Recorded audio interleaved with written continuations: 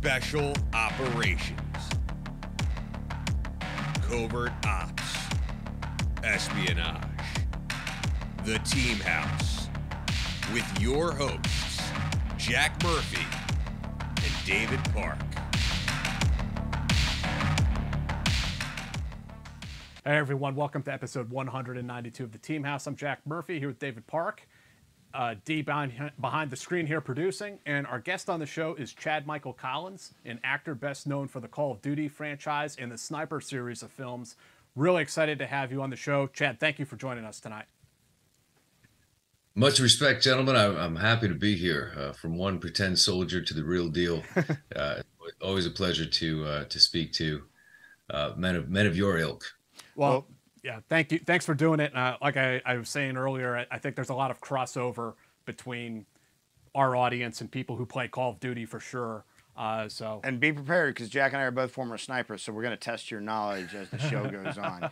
Already lost. Here it comes. Yeah. Uh, no. So, so, Chad, if you could start off just telling us a little bit about your upbringing. I read that you grew up in upstate New York, and, and kind of like what your pathway was that took you towards acting.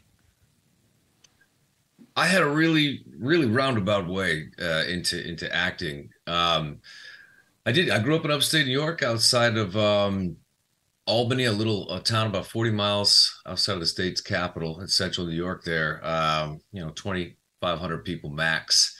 So it was wonderful. You know, it was a small, small school, small town you know, baseball, basketball, football, the all American diet of, of, of sports, and um, you know, just being outdoors. You know, sun comes up, you're outdoors. Sun goes down, it's dinner time. Get in, get inside, kind of thing. So, hunting, fishing, Boy Scouts, all that sort of stuff, all the way through, um, which was great. You know, and I I was the first kid in my immediate family to go to college and figure that whole mess out. And I ended up going to Ithaca College in uh, upstate New York as well, below below Syracuse, close to Rochester, and um, I found my my way a journalism degree.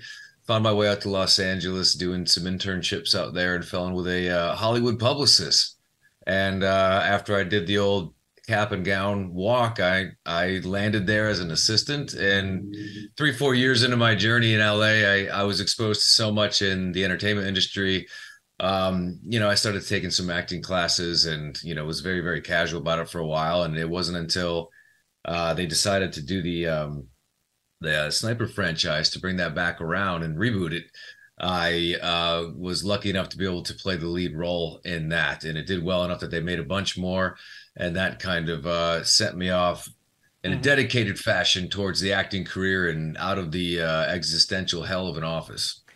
So, so uh, uh, I mean, but that doesn't just happen, right? I mean, you audition. Were you? Did you have your? Or did it just happen? Did somebody go, "Hey, we're going to reboot the sniper franchise," and you look like you'd be, you look like a sniper, a young Tom Berenger, as it were. Honestly, that's that's literally what I heard. Um, but but the the the, the missing piece of that puzzle is I I was fortunate enough to book a lead role in a movie called Lake Placid 2 uh-huh uh, that I filmed over in Bulgaria with with John Schneider. If there's any Dukes of Hazzard here, uh, oh, yeah. fans like I was growing up, uh, he played my pops, uh-huh. and Cloris Leachman was in it, who's a co- comedic legend. And we went over to Bulgaria and shot this low budget sequel to to Lake Placid. And uh, I was lead role, and the producer of that, uh, he's the one that wanted to lift the Sniper mm-hmm. franchise back off the ground, get it off the shelves, reboot it. He uh, saw me as a young Tom Berenger, funny enough, and he he wanted to do a uh, kind of a reboot where it was focused on Vietnam flashbacks. I'd play a young Berenger uh, doing that part of the the movie. That that idea got scrapped, and they they made me uh, his son.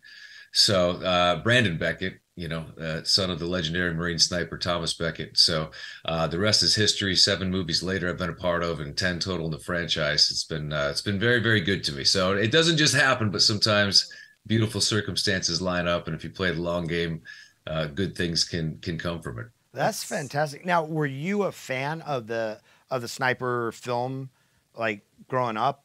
You know. Oh yeah, yeah. I mean, uh, I, I TBS and TNT when we finally got cable, which wasn't until I was in high school.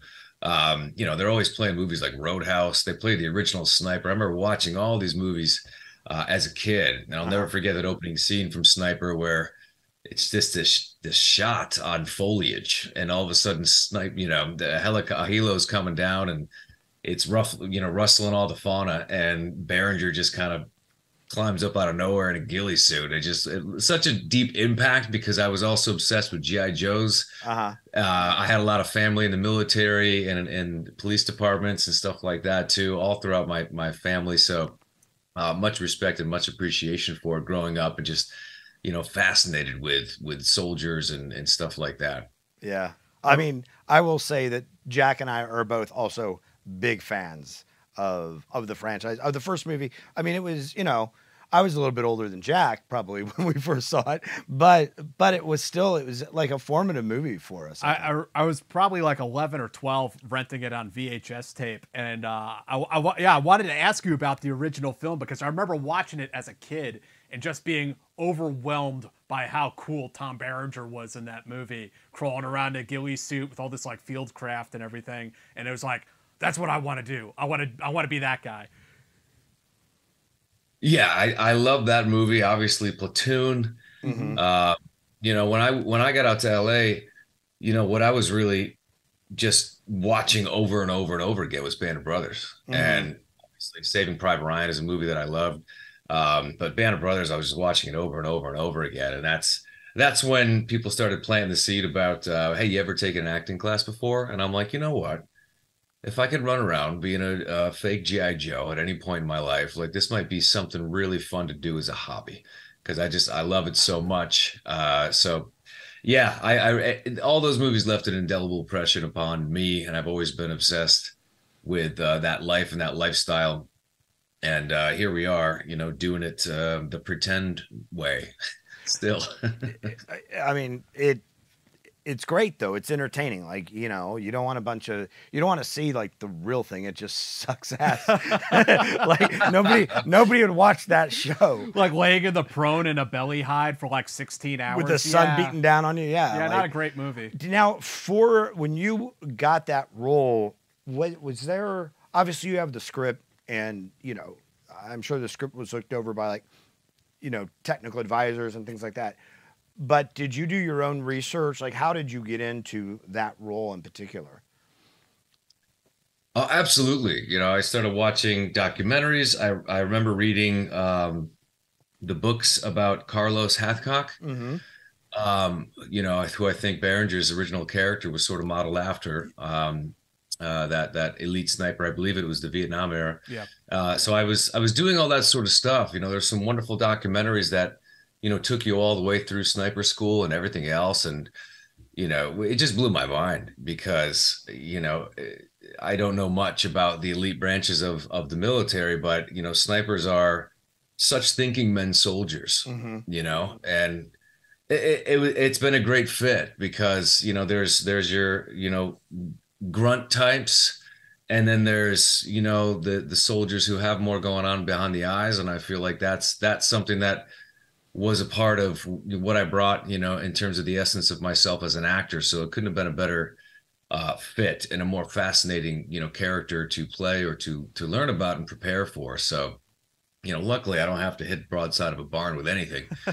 Uh, so Yeah. that saved me that embarrassment. But uh, at the same it's just fascinating to learn you know and, and you two can probably correct me if i'm wrong but i was i remember reading about the washout rate for for sniper school being so high amongst the highest of all the uh, military branches in the elite forces yeah, it's it's it's a challenging course, and and it's not just the shooting aspect, uh, because you can train anybody really to to shoot to you know The like a, a one mil difficult. standard, but it's like you say, it's a thinking man's game, and you know it's getting in and then getting out after you make that shot. Like you want to make the shot, but then you'd also like to leave the objective alive. Um, key uh, Yes. And and you know, and uh, I I I will say this because I know actors have said it before, um, and have gotten, you know, kind of beat down for it. But acting is a very difficult job, and I imagine that acting as a sniper, you may not know what it's like to be in a hide for 16 hours, but when you have to do take after take and you are in a ghillie suit, which I, you know, and things like that, uh, like I, I've done a little bit of acting and I know how it's like repetitive over and over until they get the right things or they want to get different angles or whatever. It's it's not a it's not as easy as you guys make it look. Is it right?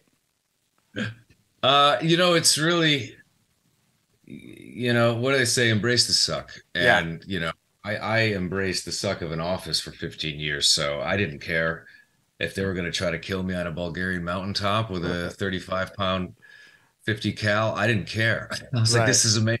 You know, and, and, you know, but you never, you, you never lose the perspective of what it takes for someone to do this in real life. And Right. that keeps you very humble. And for that reason, I, you know, ego very much in check and wanting to be able to pick the brains of technical advisors uh, and anyone who has that experience and know-how is is very crucial. You know, not, not all actors do that, um, but I I just thought that you know, representing servicemen and women, you know, is is a kind of a duty and a responsibility uh, in your own right. And so, you know, there's certain things you have to give up when you're filming because shots don't look great if you try to be 100% technically accurate. And I'm Right. like, sometimes we know we're we're we're getting a shot, and because of the framing, we're going to take some grief. Right. Uh, but that's Hollywood filmmaking for you, Right. right. Because, like you said, you know, it's not always glamorous what you guys do for real, um, and it, it doesn't always make for the most sexy or exciting series of shots. right. Uh, so you kind of have to fudge thing for the cinematic uh, effect, I suppose. Yeah, yeah. Um, but it but it is something that uh, I've always taken seriously. Been very grateful to be able to do, and you know, hopefully I, I pull it off uh, in my pretend half-ass way. So we we think so. the uh, tell us about uh, Sniper Reloaded. This was the the sort of like reboot of the franchise. Your your kind of break on the series. I believe you filmed in South Africa with Billy Zane, uh, Yep. who was also in the original film. Can you tell us what, what that experience was like? Yeah, up to that point, I was I don't know, I was more of like a hobbyist. You know, I was I was writing, I was working in public relations. You know, I was exploring a little bit of like freelance writing and journalism on the side. So I wasn't really sure. You know, I was always able to treat acting like um, you know, just like a part-time hobby that I that I happened to enjoy. And when I could invest in that side of, you know, the career and the hustle and be brave enough to do an audition, uh, it was a lot of fun. But I, I never thought it would be a real thing or a, or a long-term thing. Um, but when this movie came around, and you know, I I arrived in because we we filmed outside of Joburg, uh, Johannesburg, in South Africa, which is amazing, uh, just completely majestic. So much wildlife. We were shooting on nature preserves, with all sorts of exotic creatures running around at all times. And of course, I got to meet Billy Zane, who, you know, who hasn't grown up with with Billy Zane's movies, and, and I don't know anyone who's not a fan of Billy Zane. So that Right. was really uh, super special for me. And I remember after that experience, um, I was like, this is it, you know, and, and I, I got to go all in on this. This is, this is the biggest adventure of my life. This was the most fun I've ever had. And if I don't see this 110%, it'll be a lifelong regret. So that, that's the one that kicked off not only our, um, sniper franchise, which is still going strong, but, um, you know, really helped me decide to turn the corner Mm-hmm. into pursuing a full-time acting career. That's fantastic. Out of curiosity, um, because you mentioned that you know there are some shots you have that you need that you know a, a, a, a tactical person is going to look at and go, well, that's not how they do it, but Yeah. but for the shot you need it. It's the same like when they do the shows with divers. It's always a, a, a face plate like this big, so you can see the actor's face because nobody wants to see, you know, the actor just the actor's eyes or whatever, right? Right. Yeah. So how does that work? And I'm sure it's different on different movies, but how does that work between like a director and the writer and the, the technical advisors who are going, this isn't how it's done, or you, you should do it this way? Is there give and take, or is it pretty much the director and the, the DP, like th- they, you know, they have their vision and that's how it's going to happen?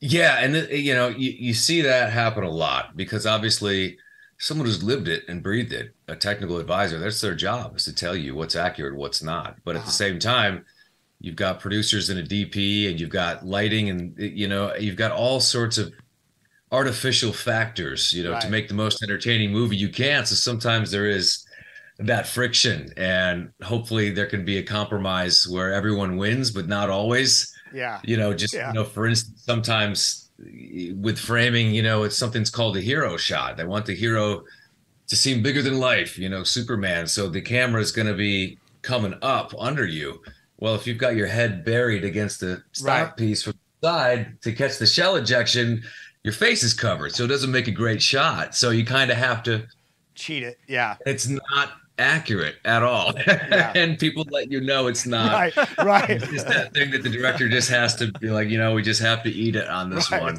Right. get the shot. So, That's funny. you know, it, do you ever get not hate mail, but do you ever get like people who are like, I loved your movie, but this scene, like, it's not accurate. You should have da da da da. honestly, it's rarer than you think. And, and I, you know, I'm grateful for that because it means on whatever low budget we have, we're getting something right. And, you know, if it passes the sniff test with people who really live it, that's what you want. You know, Yeah. you want them to enjoy it uh, and you want it to be passable so to the point where they're not rolling their eyes or screaming epithets at their screen uh, Right. at you. So, and so it's very rare uh, that those come. They have come once in a while, but for the most part, I find that um, the people in the military community are incredibly supportive and, and very entertained by them and enjoy them. So I'm really, really grateful for that because first and foremost, um, you know, you want to make them happy, you know, as well as an audience worldwide. Sure. So, you know, we, we certainly do our best. So you did a pretty good job on Sniper Reloaded, and they had you back for Sniper Legacy, where you get teamed up with. It's the return of Tom Berenger to the series, so father and son uh, in in the film. Uh, what what was that experience like for you coming back to it? Well, that was fantastic just because, you know, working with Billy was was amazing. And he came back and did a few more with us. Uh, but, you know, Tom's a legend in his own right. And I grew up on all his movies, every, you know, including the original sniper movie as we discussed, but you know, things like Platoon and Major League and the Big Chill, all sorts of stuff, you Yeah. know. And so, you know, it, it- it's for for an actor, and I was really young and, and somewhat inexperienced at that time to be able to work with somebody who's you know, Oscar nominee. He was just coming off winning Emmys for Hatfields and McCoys with uh, Kevin Costner. So to be able to work with an actor of that pedigree and that caliber, and being humble enough to just be a sponge, uh, was really uh, a- a fantastic experience for me. And and Tom's a great guy, and really, you know, all due respect, you know, it, it was his franchise. You know, he's he's the guy. So even though they're kind of passing the torch to you, you know, really it's um, you know, wanting to collaborate and follow his lead on a lot of stuff. And uh, it was a really great experience to kind of meet one of your, you know, acting heroes in that way. So and we got we got to do a bunch together, which I'm grateful for.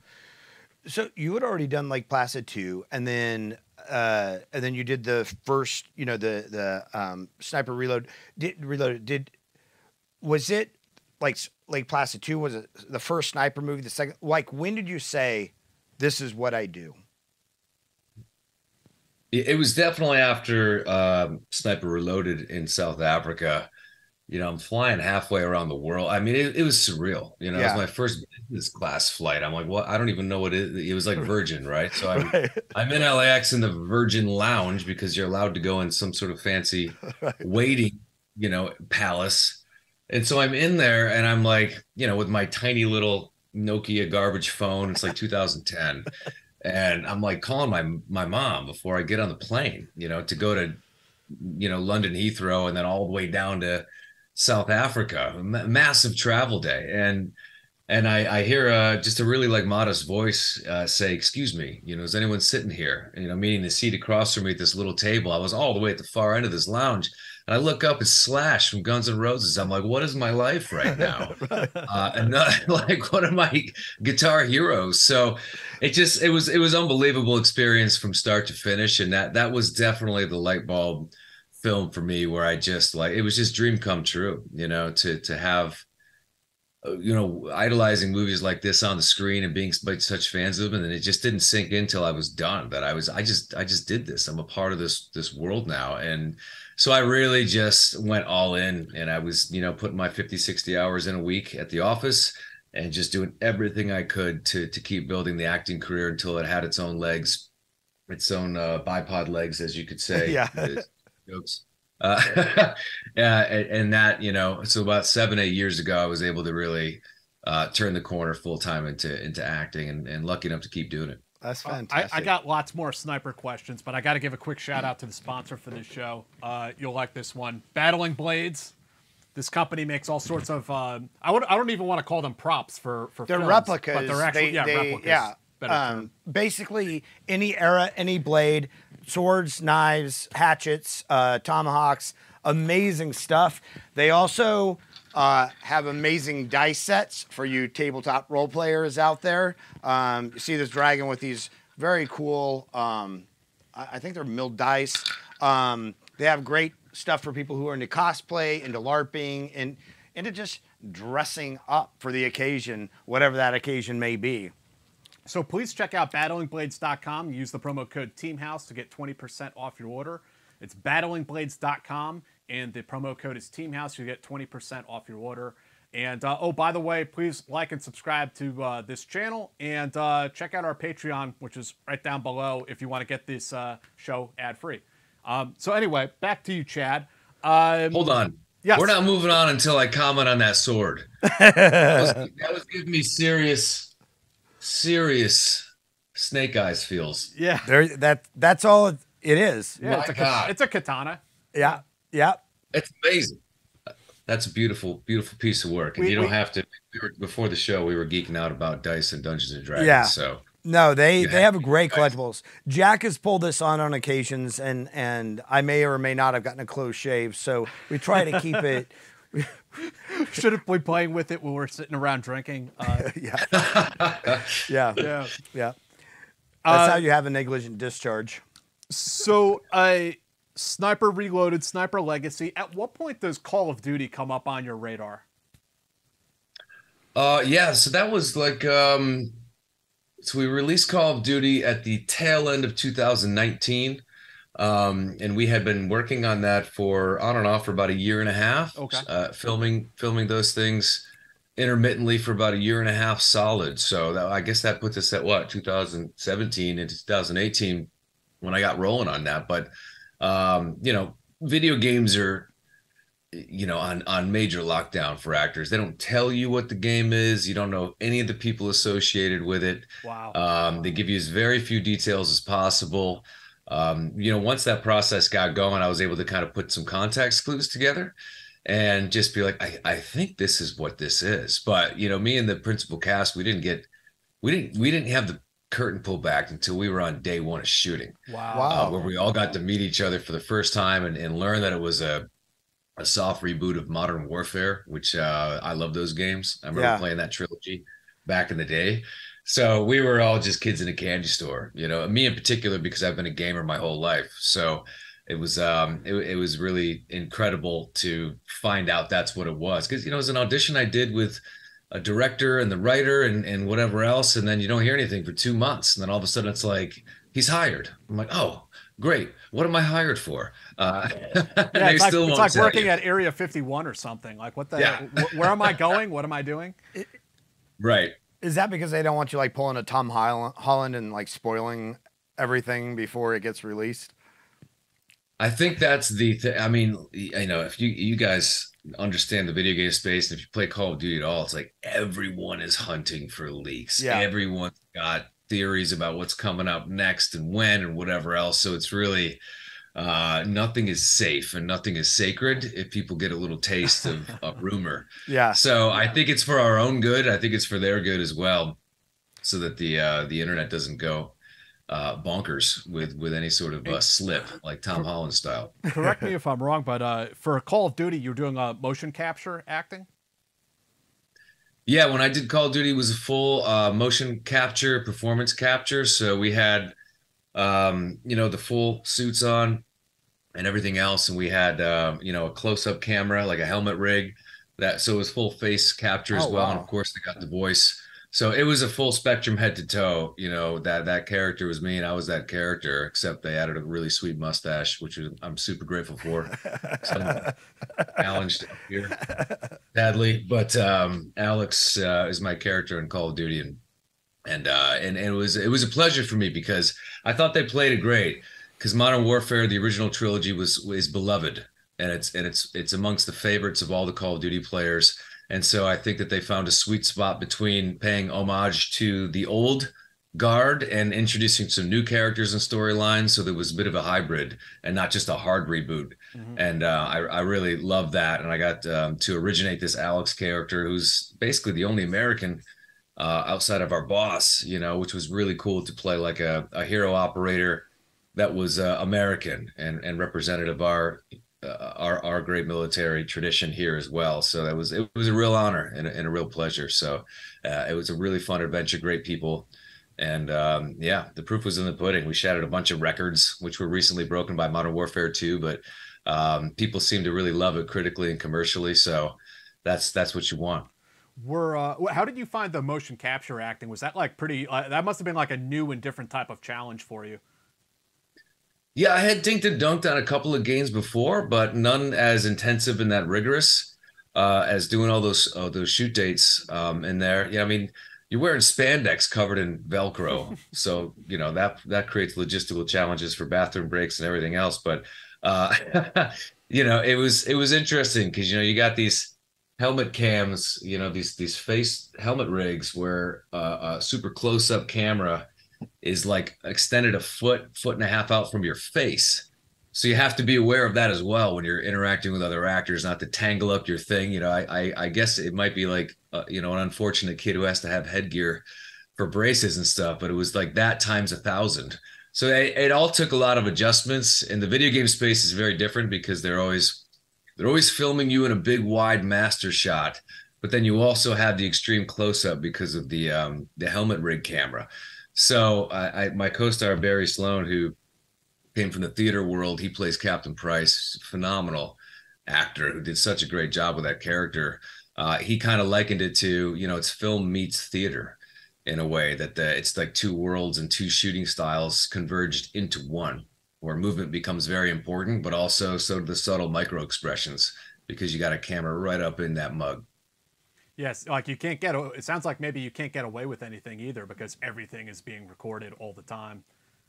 Well, they these you know motion capture, performance capture studios, um, and and the wonderful people at Infinity Ward. The technology is unbelievable, but we had you know 360 like just rigs everywhere there was like i think they said 75 to 95 cameras so they're catch they're capturing you from every single possible angle at all times so from from action to cut there can't be a flubbed line and there can't be you know you accidentally putting your hand through an imaginary chopper you know or anything like that. So the rehearsal days become really key because it does feel like kind of like a stage play production and that everything has to be you know technically perfect uh, all the way through because there is no editing that not like a not like a film you know and, and you know doing the sniper movies if you're ejecting a blank and, in it jams, it's like it's no problem. Keep the cameras rolling. Let's just do another one. We'll edit around it.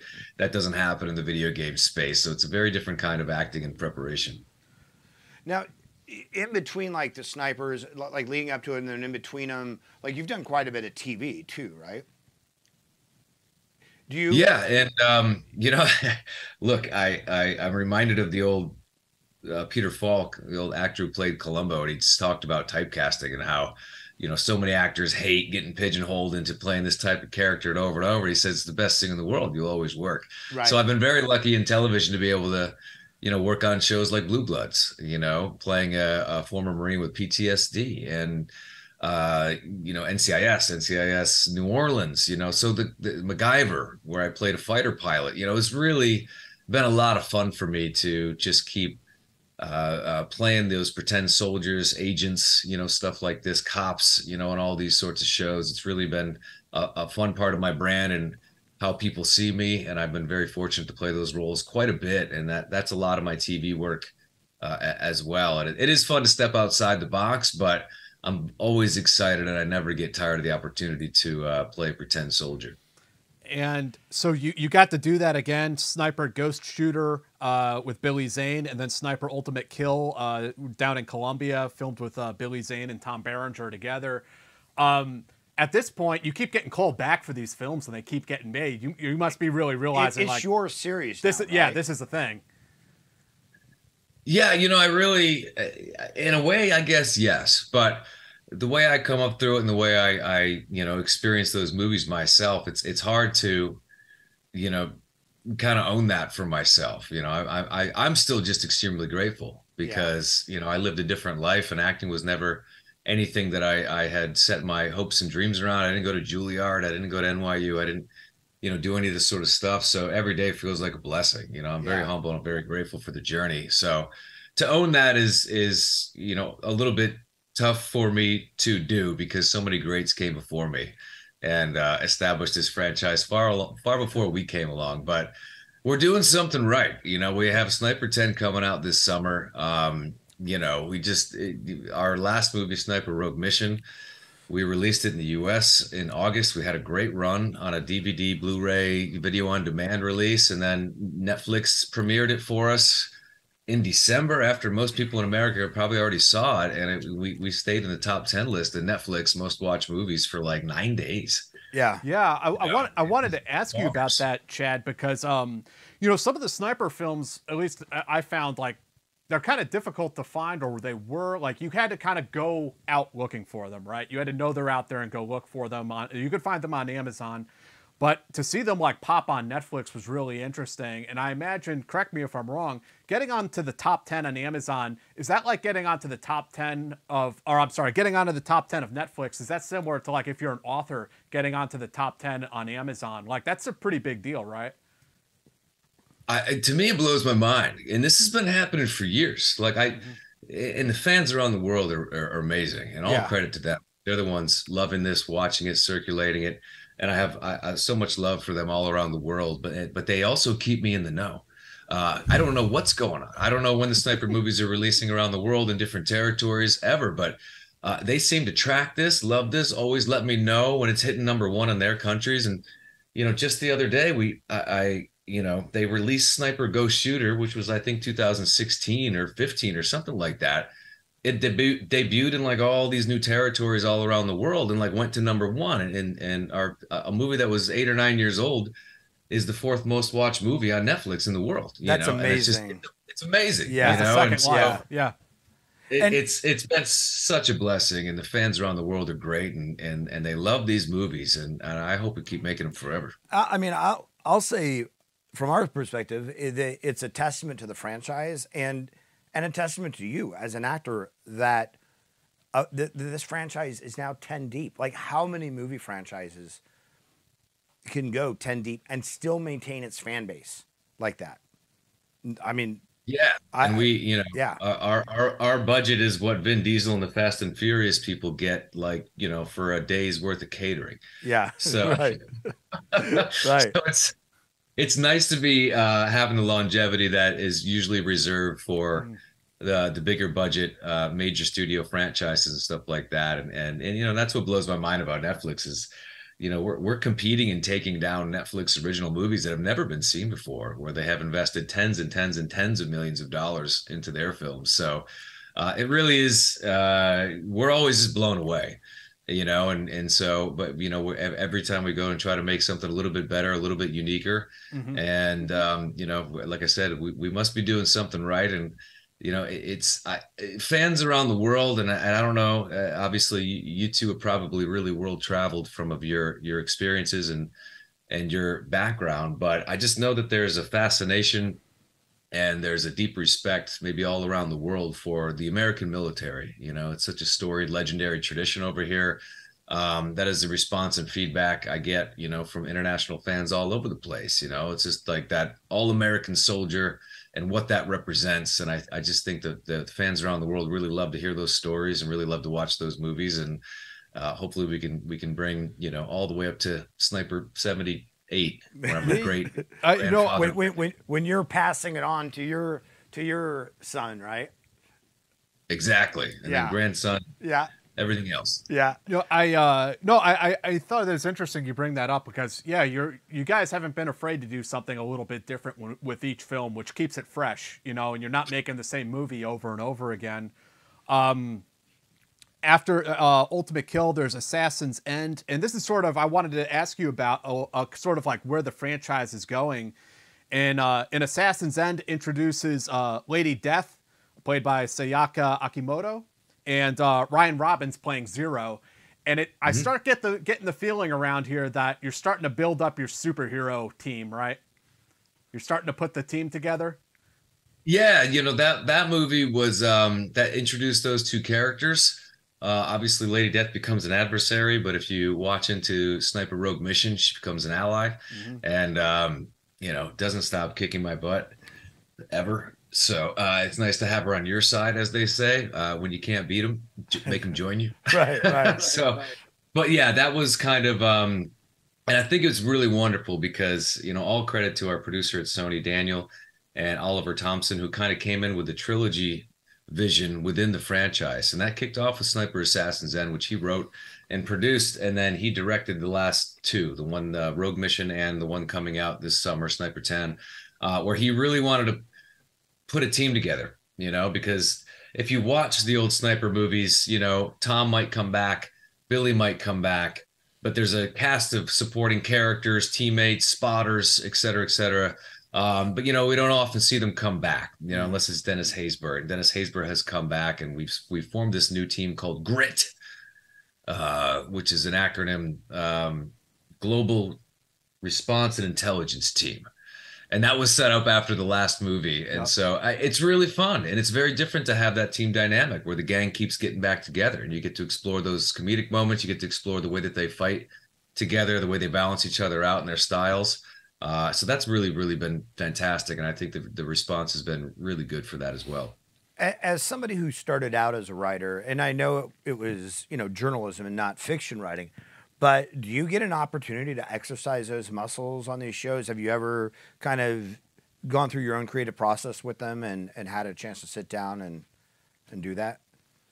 Uh, you know, they they do it on their own mostly, and I, you know, I come from the school of of acting where, uh, unless it's really going to add value, or, or or unless it's like a redundancy they didn't catch, or you know, if there's something I just feel really strongly about, I mostly just try to make the writers' words work always because they put a lot more blood, sweat, and tears into those words. Usually, Mhm. uh, you hope at least, Right, uh, right, than right. I ever could. Right. So, you know, I, I do follow my instincts and my intuition. You know, we're really lucky in that a lot of people we work with, especially in these sniper films, are incredibly collaborative. So, if there is an opportunity to make something better, but it's got to be something better. And I've seen a lot of actors fall into the trap where no matter what, they just want to make their characters cool. Right. And I'm like, well, that doesn't make necessarily for a better scene or a better story or a better product.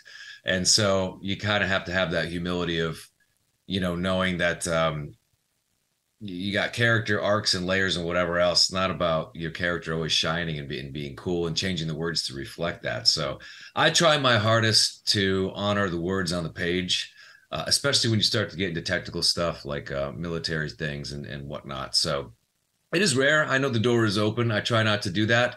Uh, there's certainly been instances where I where I have, but that's just kind of my rule of thumb in terms of uh, of that. And I've seen way too many actors go way too far with rolling pages right out the window just because right. Name names. Yeah, it, it- yeah. It's not in the. Uh, I know you guys didn't say this, but I'm adopted, so this isn't how the my character my character is adopted. So this isn't how they would act. Whatever, right? They Yeah. create a, an elaborate backstory and then want everything to. What about what about your own sort of screenwriter? Have you ever like thought about that? You know, you're obviously a creative person. You know, you play D and D. You, you you know you have and you do have a background in writing. Do you have you ever thought about pursuing screenwriting on your own? Yeah, producing is something that um, you know I I'd want to step into more. Uh, it's just you know filmmaking is a fascinating process. I, I just feel like every part of the productions that I've I've been a part of is it's just it's a miracle coming Yeah. together. Moving parts and how long it takes, and and all the ways things could go wrong, and and everyone coming together to make sure that it gets past the finish line. So uh, it's something I've, I'm fascinated with. I'm always trying to learn more. I've got a lot of projects in in development. I've I've given my hand at writing a little bit, um, you know, rewrites and stuff like that. But uh, I think it's fun. I think it's a door that'll be open for me later.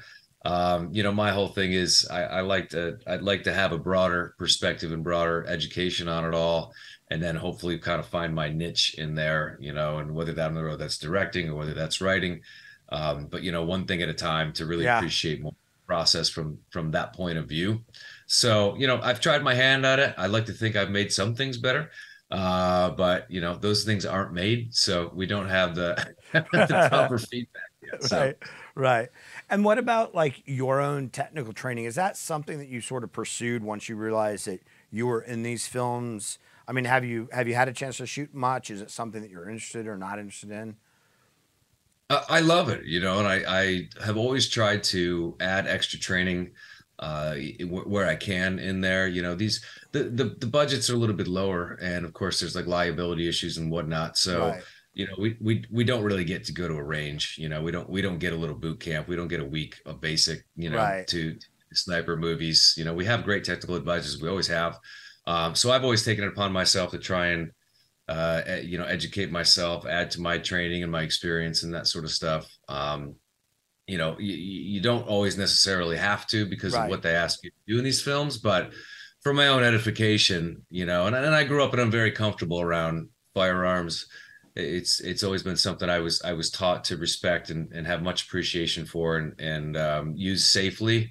Um, you know, there's still actors on set who just wave things around and you're like, oh boy, you know, you just hate to see it, you know, yeah. because that's number one rule. And, and, um, but you know, it's, it's gotten safer in the fact that VFX have come so far that, um, you know, back in the day, even shooting blanks, you know, quarter loads, half loads was the norm, especially if you're going over to Bulgaria where there are no restrictions on anything. Right, right. Uh, but now it's it's really about uh, a lot of painting it in with VFX and in post production uh, as a much safer way to go about go about doing that. So you know, it adds an extra layer of what you're responsible for as an actor in terms of recoil and kick. Yeah, uh, absolutely. you know, Not closing your eyes when you shoot, like yeah, yeah, yeah. yeah. so yeah, um, but I, but I do I, I, I do try to um, you know get out and shoot when I can. I do try to add to some training when I can and uh, not not as much as I like, and probably not as much as I, I should be doing. But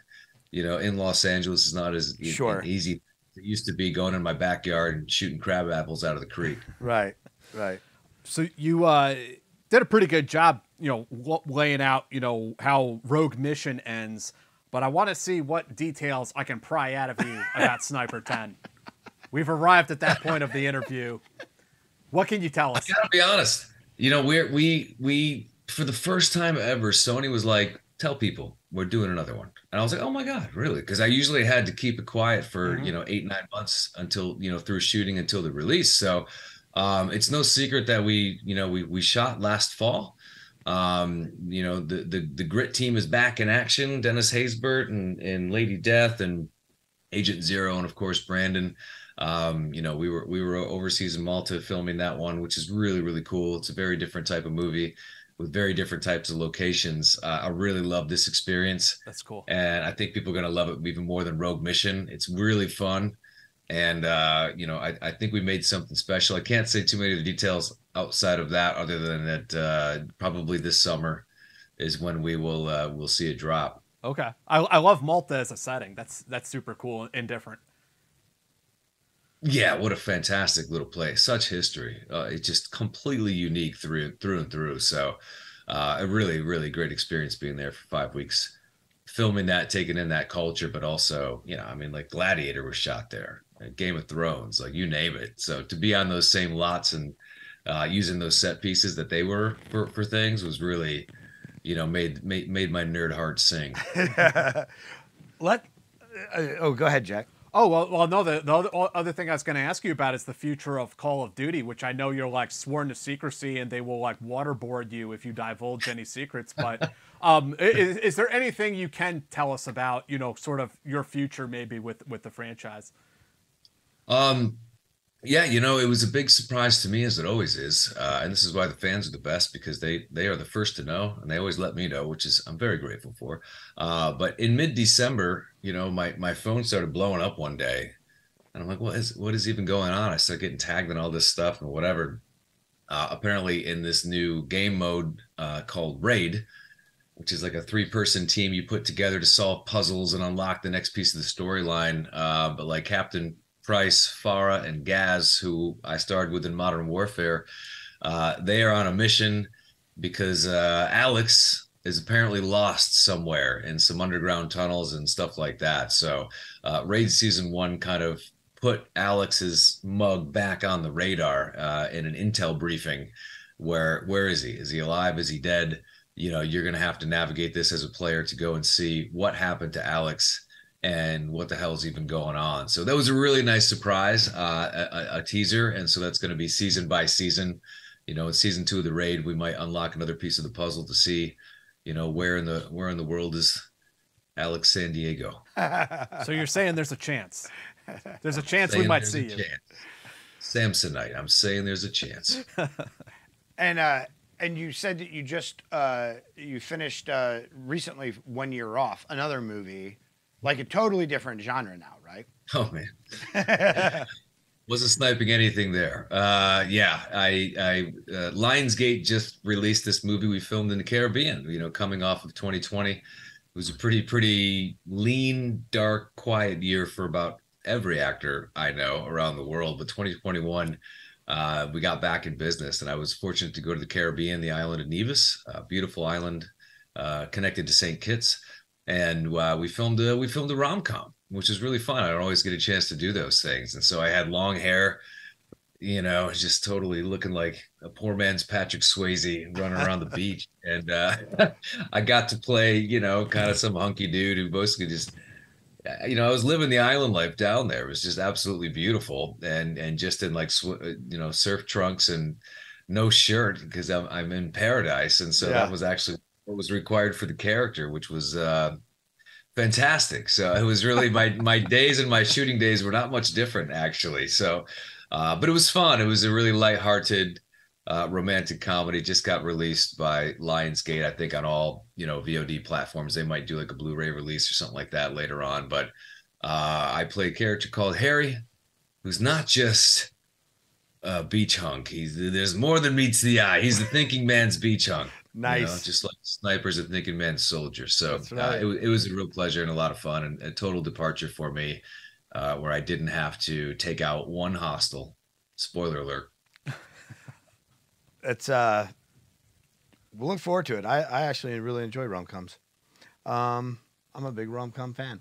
But you uh you mentioned like geeking out. Um let's let's talk a little bit about what we see in the background going on because we know you're a big D&D fan. We see the Funko Pop. Like, uh, I don't know what the series down in the right, it's probably your left corner of your bookshelf is there. But, how, like, when did you get into Dungeons Dragons, role playing, stuff like that? I'll tell you what, uh, you know, I don't know if we're allowed to see the, the P word, but um, you can say it. Global panty. Uh, when it happened, it was wonderful for my D and D habit. I'll be honest. I had a whole year where I logged so many hundreds of hours of D and D. It was it was incredible. It was a silver lining, and an otherwise very precarious uh, year, 2020. Yeah, yeah. I've always been a nerd. I grew up on comics. We were talking before yep. we went live.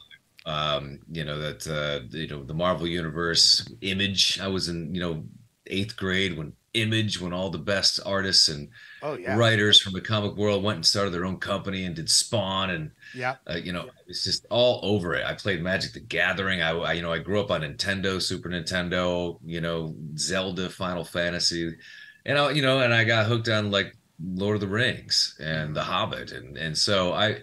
I was, you know, it was just weird. I lived a really weird existence because I, you know, I'd go to like football practice and then I'd go meet my dork friends at the library and play Magic the Gathering. So it was like I was just always had a foot in both worlds, and I'm I'm still that way uh, to this day. But yeah, it's hard to tame my collection of that. That's not nerd- going back in the closet.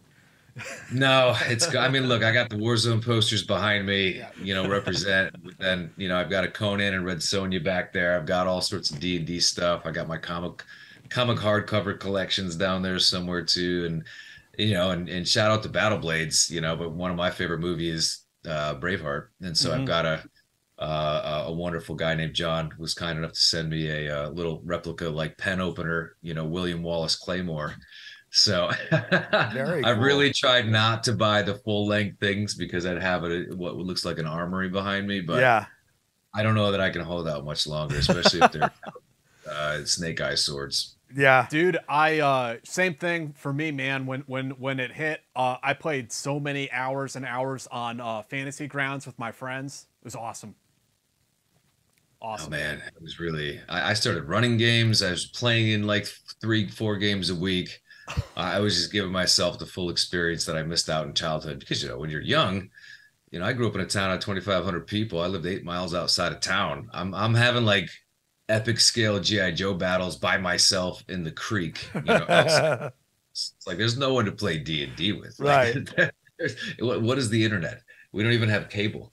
Uh, so you know, I'm making up for lost time. And what what are your favorite uh what are your favorite like characters to play? Like your Uh, I'm a I'm a knight nerd, dude. I love, you know, the old school knight stuff, chivalry. Um, you know, I always play a paladin Yeah. usually. Is the best of both worlds. You like an oath paladin, a vengeance paladin. a protector. Yeah. yeah. you know, who's got a little bit of magic and and Yeah. you know, righteous power, you know, as well. I always love the paladin character. I'd say like ranger, hunter is like my second favorite, and that extends to like D and D, Warcraft, you name it. It's always you know Aragorn from Lord of the Rings, Yeah. one of my favorite archetypes.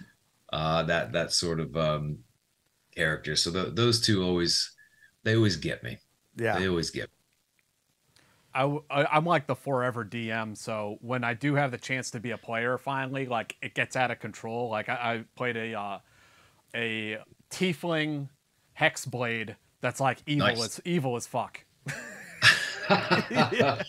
Going the other way. No, no paladins. Yeah, when I finally get the chance to play, like we're we're going dark. It's Yeah. gonna be bad. Yeah. yeah. Look, all, all all DMs and dungeon masters for your audience who not to know, they're they're the real heroes because without them and that thankless job, no one can play D&D. Yeah. And it is a thankless job. It really is. You get you get like addicted to it though after a while because you're like as a player you, you know you're kind of waiting for your turn there's that lull Yeah. but when you're the dm like you're constantly engaged for like four hours Yeah. like managing all Yeah. this stuff yeah. Yeah. Yeah, I enjoy running the games, but it's the prep that kills me. Right. You know, I'm attention to details. I want to be ready, so I have Right, to spend all these right. hours before the hours of playing, and I'm like, this kills me. Like eh. this, this is literally a full time yeah job. yeah and I- yeah Yeah, and isn't it always fun when you like craft this exquisite campaign and then your characters like go the players go off in left field and they're like, We don't want to play that campaign. We want to like go see where this boat takes us. And you're like, yeah, yeah you're, you're that I- player by the way dave I don't know where You this are that boat player goes. I'm, I just want to point that out since we're here Called out. yeah yeah Yeah. It's always nice to see a dungeon master sweat. It's like shit. That's true. Yeah. Yeah. So- let's see you drop on the fly for four hours. Exactly.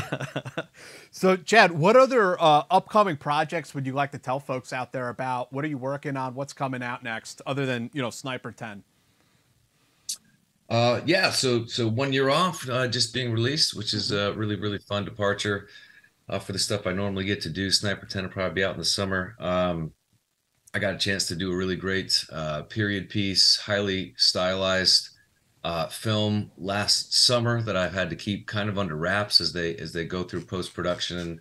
So I'm gonna you know tease like a little bit of an announcement on what that project was okay uh probably on the on the 20th just through social media and stuff can give a first look of costumes and everything else too and this director and these producers spared no expense and it's a really inspiring tale and i don't often get to do period pieces and this is set in the 60s so um so yeah you know I, i'm lining up some some comic-con convention appearances which are you know for me the best of all worlds because Yeah. i get to go there as a fan and i get to go there to meet people who you know love to play call of duty or love to check sniper movies or whatever. So it's really those are always a blast to attend and appear at as well. So and i'm signing on to a movie that of course i can't really talk about uh for for march. So so that's that's about all i can say and not say about the things i can't say anything about All right, good for you, man. I mean, Well- but you're keeping busy. That's awesome. yeah. We'll see you in October if you're coming to Comic Con New York.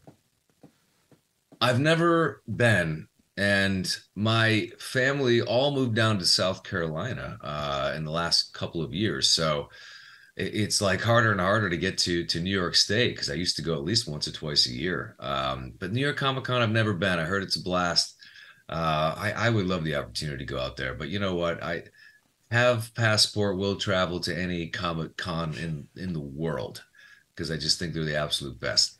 But yeah, if you come through New York, let us know. We'd love to have you here and uh, drink some scotch and, and bullshit about nerd stuff. We'll we'll we'll duel. We'll, spar. Yeah, we'll, yeah. Uh, yeah, battle for blades, swords, Yeah, and or just roll dice and let our characters do it. There you go. yeah, Yeah, yeah. playing with the swords, Yeah, we'll do, scotches uh, in. Uh, We'll, we'll we'll do a, a one shot, uh, a, like a one shot doable. run on something. it's doable. Yeah. So Listen, don't threaten me with a good time. I'll buy a plane ticket tomorrow. yeah. Uh, any other anything we missed? No, All right. did we miss anything? Where can people find you? Uh, yeah, I'm I'm I'm all over the socials. Um, Instagram and and Twitter at Collins Chad M. Facebook is just Chad Michael Collins, and um, I'm trying to do what you're all doing. I'm trying to to build up my YouTube channel as well. Cool. Um, you know, I, I really there's nothing I love more than paying it forward. There's nothing I love more than sharing people and or saving them the incredible mistakes and expensive expensive mistakes I've made in my journey as an actor. So I'm, I'm trying to put more content out there of gaming, you know, Call of Duty when I stream and stuff like that. Twitch.tv slash Chad Michael Collins. I do like to stream Call of Duty. I do try to play with a lot of fans and Cool. gamers around the world. Um, so I put some of those clips and highlights up there. I'm, I'm not a great player, but I am a clown. Uh, and it is a good time. So, but uh, you know, putting more stuff in terms of acting lifestyle and and success tips and career stuff for actors. So uh, YouTube is just uh, Chad Collins at YouTube. Chad Collins on YouTube. Yeah, I mean, We'll put it- definitely we'll everybody. everything in the uh, description. While you're liking and scri- subscribing to our channel, also please like and subscribe to Chad's channel. Yeah, Uh, we'll- and- for for the folks who are watching this on YouTube, we'll put a link down in the description. Oh, that's right. Yeah. Hey, I have a question for Chad. So Chad, like since like the sniper stuff kind of got like a you know shot in the arm with like Netflix and being in the top ten for so long, is Netflix like trying to like pour money into it and like maybe start a TV series and like really push it? Are they making it rain? Yeah. Tell you what, I you know, and I, I hate to use the cliche. I love to use the cliches. Whatever, I'm letting them fly. It's above my pay grade, as they say. You know, I'm I'm I'm always um, you know, we making another one. Where am I going? And and when? Uh, so I don't know, but I I gotta think Netflix is thrilled. You know, this was a new deal Mhm. that they signed on to, and you know, in terms of the movies that cost a fortune, probably to make and to acquire, you know, I think ours drawn down to scale is probably the best deal that they have on their slate right now. Yeah, in terms yeah, of how well yeah. being, Yeah. you know, viewed. performing. And you're right. Like considering how much money they put in it, I mean, Amazon with some of their stuff, like for for Arms race. It's yeah, nuts. but, but Some of it for- hit or For the production honestly. cost to be low, you know, or lower than some grand epic fantasy that's just horrible, and Yeah. such and and and a shame to the original. You can name author. names, Dave. You can name names. I feel like you're alluding to something quite specific. Sorry. Um, but yeah, I, you know, to to make a fun series, you know, or, or a fun franchise that people enjoy that doesn't require a, a ton of, you know, post production or a ton of VR, not VR, but you know, um, the graphics and things like that. I, I can't imagine how that is a bad deal for them in any way. Yeah. You know, it's it's it is interesting because it's natural to ask those questions, right? Like you guys have done so so well. Like why don't they make it bigger, better, more, you know, booms, explosions, give you a bigger budget to play with whatever else, but it's like it's not how business people at studios think. They think, well, you were able to do it on this little bit. Right. Could you do it a little bit less next time? right, right. Well, Yeah. It, it's funny because talking, you know, talking about the relationship to the military in a way, how there's crossover. Like in the military, at the end of every quarter, you have to go out and shoot all the excess ammunition Oh, you have. the quarterly because you- forecast. Because yeah. if you don't shoot it all, then it. your budget gets slashed. So Yeah. you spend like a day on the range until everybody's so miserable that you start throwing ammunition into the wood line, you know, into the like the forest next Right. to you. So yeah, so I'm I'm sure they're the same thing. They're like, well, you guys are making a great product uh, for Yeah. this much money. Why do you need more? Yeah, and you know you can't blame them. You know that's that's good business, I suppose. And and and somehow, some way, our the powers that be have have pulled it off. Our producers and directors and everything else too. But look, I'm just grateful to keep you know Mhm. doing them as is for as long as we possibly can. It's a great time with great people, and you know, really grateful to Sony and and and now Netflix for you know putting putting it out there in front of people, and you know that people are putting their butts in the seats, so to speak. So it's just always uh, really really cool and very rewarding to see. Well, it's a fun series, and we we really wish you the best, and hope you guys keep going strong, and wish you the best in everything that you're, you know, that you do outside of the franchise. You know, it's fantastic. Chad, I'm, I'm I'm super happy to see the the the series kind of like you know connect with a new audience and really blow up like that. It's really cool, man, and and I'm glad that you know you guys are going to be able to keep making these films. I, I enjoy the hell out of them. Well, I appreciate it, gentlemen. That's very very kind words, and you know, really, it's it it means much more to me, you know, coming from you know real heroes such as yourselves, you know, and that's that's that's a stamp of approval that you always hope to get, that you might not. So you know, as long as they love you know the movies that we're doing you know and it's it, it's it's always nice to hear the feedback from people who have lived the life uh, that they can still find a lot of enjoyment out of it knowing full well it's not close to the real deal It's Yeah, but they're- they're good That's fun. What it's, Yeah. it's like Snake Eyes. there, there's nobody out there like Snake Eyes, but GI cool. Joe is fun as hell, right right right? It like it, it's fun, you know, and that that's all that matters. I think when people are watching a show is, am I enjoying myself? absolutely absolutely and and i do think that these the last bunch of films and the one coming out is you know we, we really wanted to they, they wanted to infuse more fun and more popcorn into it but take away none of the action and Yeah. so i i think that uh, people will really enjoy this next one coming out this summer We can't wait. Chad, thank you again so much for doing this, man. I hope we, maybe we can have you back, uh, you know, after the release of Sniper 15 and, and do another recap of uh, of the films. Uh, you know, we wish you the best, man. And uh, our next episode is going to be uh, on Friday. We're going to have Tim Weiner, uh, journalist that covers the intelligence community. He's going to be back on the show again, uh, talking about some things that are you know contemporary in his sequel to Legacy of Ashes that he's working on, his sort of seminal history of the CIA. Um, so we will have him on Friday, and uh, we'll see all you guys then. So take care out there. Thanks, everybody.